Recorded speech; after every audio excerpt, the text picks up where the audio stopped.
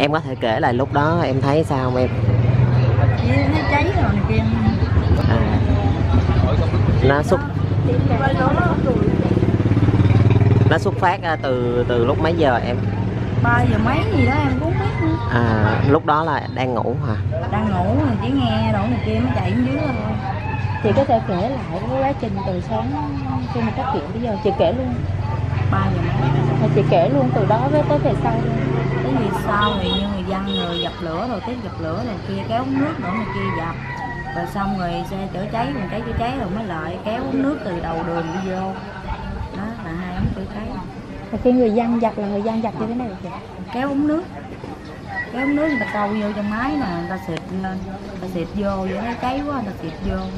Vậy đó mà xịt cũng như không à tại cháy lớn nhưng lúc đó có nghe tiếng kêu cứu lên người hay là người dân có biết không? Người Không. nhà?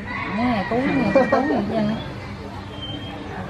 lúc mà mình có, có biết là người dân có biết trong nhà có người không ạ? biết mấy người ở xóm ta ở tập người ta biết thì lúc đó có ai đập cửa hay kéo cửa gì để phá cửa không? cửa mở một cánh mà đâu có đóng cửa đâu đâu chị chị có thể miêu tả là cái nhà lúc đó như thế nào nhà bị cháy thì cháy thì nó nó nó, nó cháy ở trong nhà nó cháy nó cháy phần là ờ, cháy lửa dữ dội lắm rồi sao cửa mở mà không có ai vô hay là cũng không thấy ai ra hả chị? Tại cháy mấy chiếc xe mà cháy mấy chiếc cửa nữa sao ấy? Cháy chiếc xe mà cháy mấy mấy chiếc cửa đổ này kia sao mà vô được? Tại cháy lớn dữ dội lắm. Rồi lúc đó lúc đó mọi người nghe rồi ờ, có ai tới ờ, tưới nước gì không em? Có có người tứ mà. Rồi dân người kéo ống nước rồi người câu vô hụ đổ này kia đằng xịt vô là được một chút gì đó rồi xe chữa cháy người ta vô người ta xịt là mới, mới dập tắt. Không có nghe tiếng kêu cứu gì hết.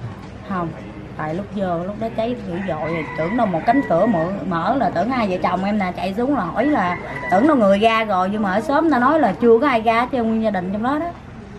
Đó là mấy mấy mấy ấy. Em có thể kể là thường ngày họ sống làm sao không em không em cũng không biết nữa em ở trọ em chỉ thấy là đi làm qua lại vậy thôi chứ không có mấy gì tiếp xúc. À có biết gần tối hôm trước có có thấy không chị? Không em cũng ý tại vì hai chồng em đi làm không mà ít ở nhà lắm. Người mẹ làm cái gì em? Em nghe tại thấy gì đó đi xe đạp đồ nó nghe nói dọn dẹp bình định gì đó em cũng không biết À. rõ nữa.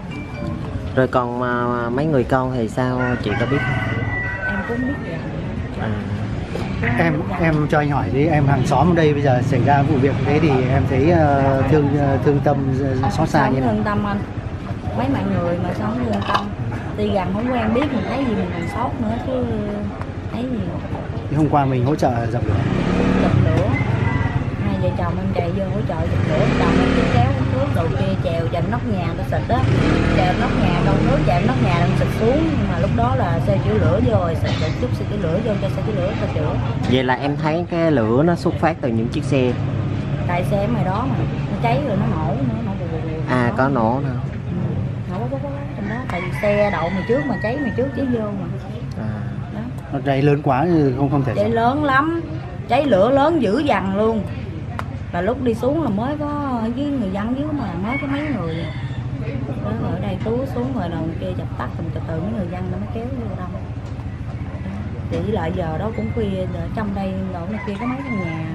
Cũng không biết tại trong đó nó nó tuốt có chỏng nữa cháy là chỉ nhìn thấy là lửa đổ này kia, mà trước là thấy lửa đổ này kia, khói và kia, biết là cháy ở đâu nữa.